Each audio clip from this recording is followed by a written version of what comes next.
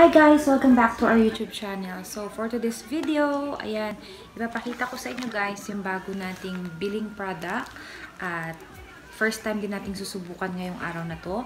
So, bago ang lahat guys, kung bago ka lamang sa aming YouTube channel, ay mag-subscribe ka na. Yan, kalimbangin na dyan yung bell sa baba para updated ka sa aming mga susunod na videos. So, anito si Jacob sa tabi ko. So, naglalaro din siya.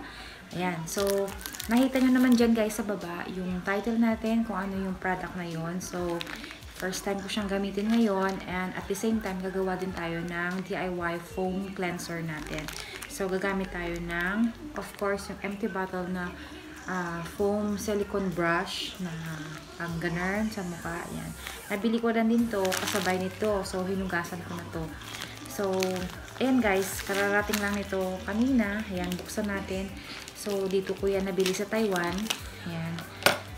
First time ko itong susubukan at first time ko rin makita yung uh, kung ano yung packaging niya. At uh, nagulat ako, ganito lang pala siya kaliit. Akala ko malaki siya. So, ayan. Malaki lang pala sa, sa picture. Pero uh, sa totoo, sa totoong buhay, maliit. ayan, ganyan siya guys. So, nasa isang pack siya. Nagkaka-anim. Anim siya. 6 pieces in one pack. Ayan. So, ang ganda din ang packaging niya. So, hindi ko lang sure kung magkano itong bili ko. Kasi, hindi ko na tinanong kung magkano. Ang taray. Ang taray magbibili pag... Kasi kilala ko yung pinagbilan ko. So, hindi naman... Dahil hindi mo naman yata ako na-scam. what is this? Sabi. Hmm. Ah, this is my soap, baby. Yan siya. Mama will soap. Mama will talk first, okay? So, ito guys, first time kong makita yung packaging nito in personal. Ayan, ang ganda niya. It's color black and gold. Ayan, ganda ng packaging niya. At hindi ko pa, I don't know, ayun, nabukas na itong isa, oh. Open na siyang isa. So, nakita ko, bukas na siya isa. Ito na lang yung buksan natin. So, bukas na siya. Hmm, ang bango naman. Ang bango. So, me too. I want to, I want oh, you want to smell. Mmm. Okay, ha? Sit down. Sit down there. I will talk first. So, guys, ito ang kanyang mga ingredients nakalagay dito, guys. Yan, sa likod. Uh, this is uh, Negra Ultra ah, Negra Ultima Gluta Papaya Soap. So, for a better and whiter skin. So, at the back, yan, yan, new and improved. Mm -hmm. So, nakalagay dito sa sa likod yung directions kung paano, how to use. Ingredients, ayan.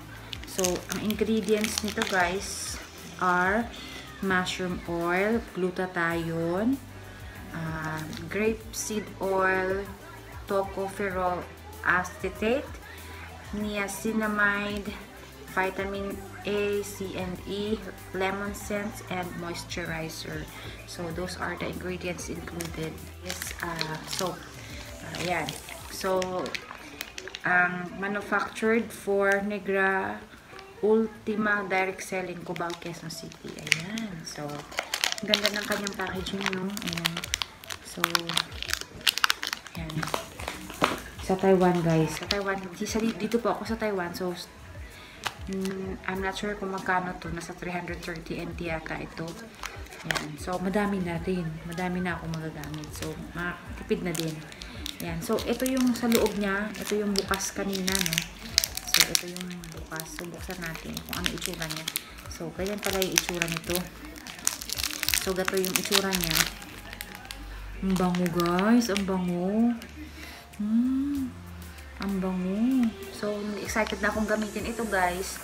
So, kasi sa mga ingredients niya, ang gustong, pinakagustong gusto ko dyan is yung um, glutathione and ano, yung uh, ah, lahat na para hindi na ako mag-explain. uh, yan, kasi syempre ayun, gusto kong isubukan sa face ko, tsaka sa buong katawan ko. Yan, itong, ano, itong gluta papaya. Kaya, gagawa ako ng foam cleanser dito. So, samahan niyo ako guys kung paano ko gagawin ang aking DIY foam cleanser. At itatry natin sa ating face lock. Okay? So guys, dito pala, dito tayo maghiwa sa ating platito. So, hiwa tayo ng ah, konti lang.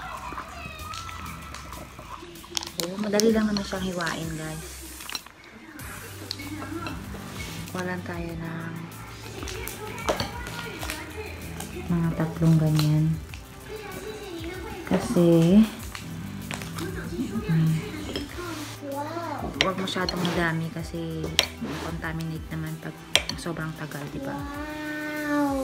Good for 2 weeks or 3 weeks lang.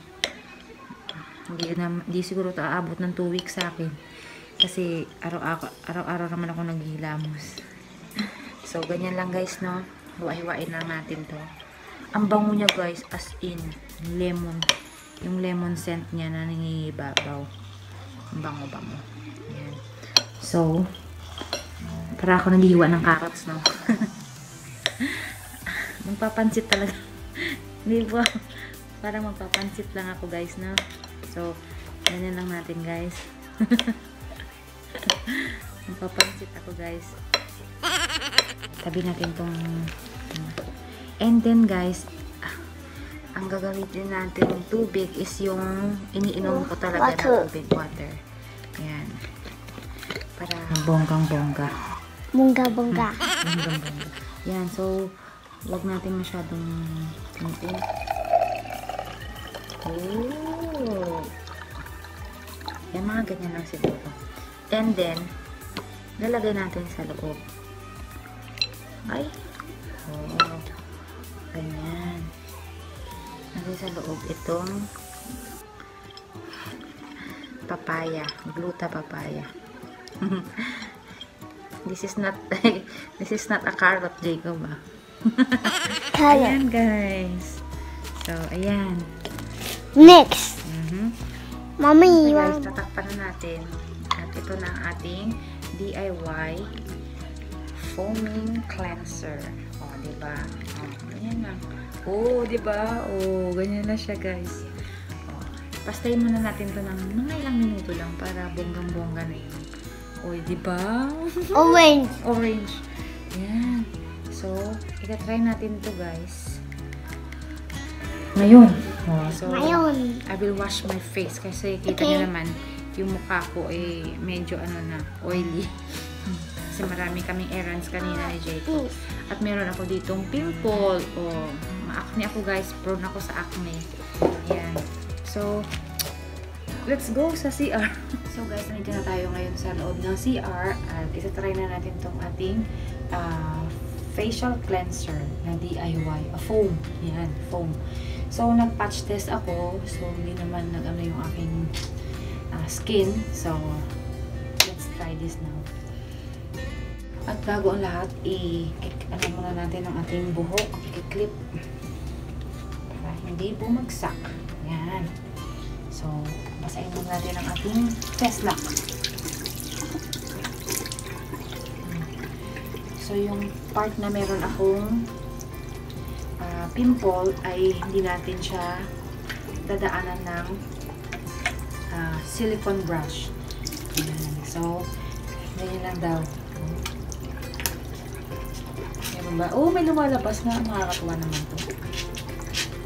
Ayan. So, Ayan. Oh, sarap. Ang sarap niya i-massage. More. Lalabas mo natin. More.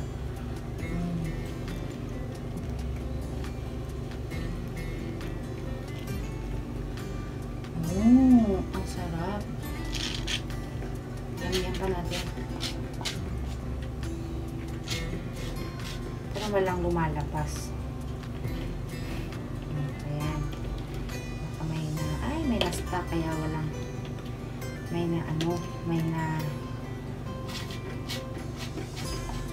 May humarang. Teka pala kayo. Kasi inayos ko muna guys. Tingnan natin kung may lalabas ng foam. Ayan, may lumalabas na. Ayun. Mm. Mm. Mm. Ayan, grabe guys. Daming foam na lumalabas oh. Ang daming foam na yan. Oops. Mmm, ang sarap. ang sarap i-massage nitong silicone brush. Feeling ko ah, tanggal yung mga dead ano skin sa aking face lock. Oh my God! You're getting to my nerves. ang sarap. Ang sarap niyong i-massage, guys. As in, first time ko pong gumamit nitong silicone brush. Ganyan. So, huwag na natin siyang ibabad sa mukha natin. Mmm.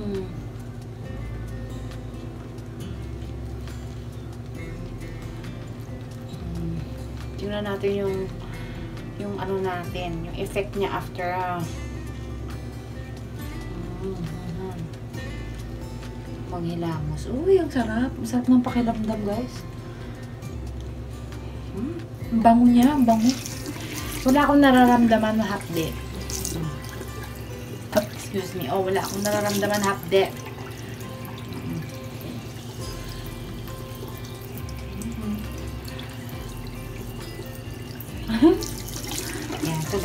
Natin itong ating foam. Yan. So, up, takpan, at balik dyan. At, babanlawan na natin, guys. Huwag na natin ibabag, okay? Hmm, ganyan lang natin. Oh, ang sarap. Hmm. Sarap, guys. Hmm. Ang sarap. Ang, ano siya, pakiramdam ko sa kanya, ano, malambot. Malambot yung skin after mong gumagamitin. Hindi. Tingnan natin guys, ang mga how many days, kung ano yung magiging effect sa akin itong, ano, ah, Negra Ultima Gluta Papaya. Hmm. So, i-update ko ka rin kayo. So, ayan. Maganda siya, okay siya wala naman akong naramdaman na hapde. Ah, sobrang siguro makakatibid ako dito ng bongga. Ayan na guys, so hanggang dito na lang ang ating video. Sana nagustuhan nyo ito, ang aking first impression or our review ko dito or unang try or whatsoever. Yan ang Ultima, ah, Negra Ultima Gluta Papaya. So, yan. So, thank you guys for watching. Ah, kita-kits ulit sa aking susunod na videos at sa pag-update ko nitong ah, sa ating bagong product na tinry. So, keep safe and have a good one. Bye-bye! Like and subscribe!